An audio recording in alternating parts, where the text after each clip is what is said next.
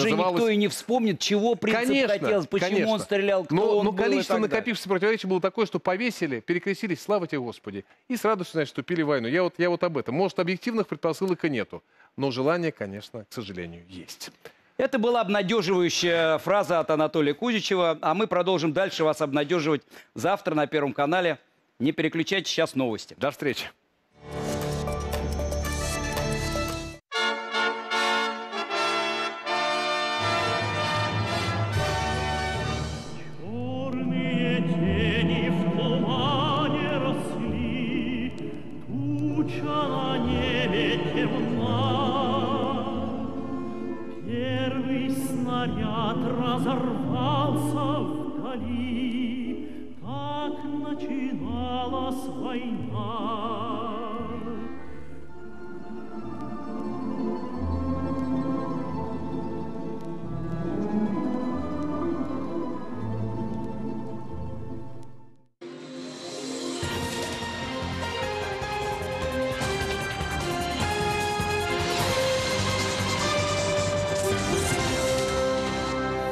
Это новости на